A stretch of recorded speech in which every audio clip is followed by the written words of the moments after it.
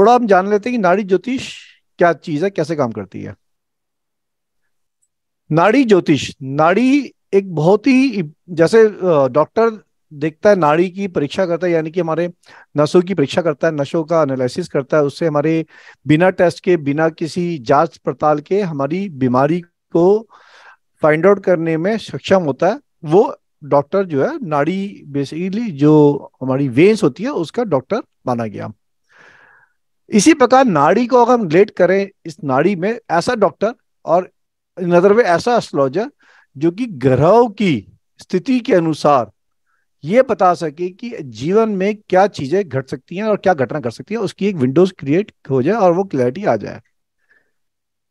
जितनी चीज़ें हमारे पास उपलब्ध हो उन उपलब्ध चीज़ों के बेस के ऊपर अगर कोई चीज़ें, कोई फलित हो सकता है तो नाड़ी ज्योतिष में सबसे आसान तरीका हो सकता है, क्योंकि नाड़ी ज्योतिष बहुत ज़्यादा डिटेलिंग के लिए नक्षत्र या अंशों के माध्यम तक जानने की जगह पे सिर्फ़ ऊपर से प्लैनेट के कॉम्बिनेशन से की जा सकती है।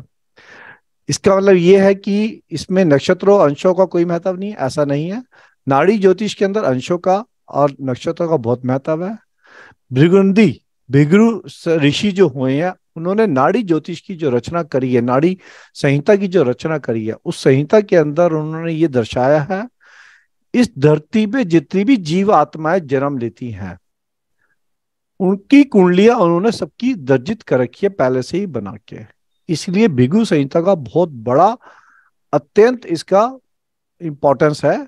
द रीजन इज़ दैट उन्होंने बारह राशि, बारह भाव, सत्ताईस नक्षत्र, नव ग्रह और उनके अंशों के माध्यम से बनने वाली हज़ारों, सैकड़ों, लाखों अरबों कुंडलियाँ जो बन सकती हैं, वो उसके माध्यम से बना के ऑलरेडी दर्जित कर रखी हैं।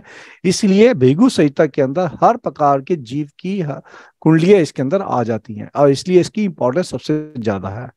It is all about the combination it is all about combination हम इस पूरी जर्नी के अंदर ये जानने की कोशिश करेंगे कि जो प्लानट है, वो अपने कॉम्बिनेशन कैसे क्रिएट करते हैं और उससे क्या फल उत्पन्न होते हैं और उसे हम कैसे अपनी फलित कर सकते हैं। इसके ऊपर हम बात करेंगे। बिगुरु सही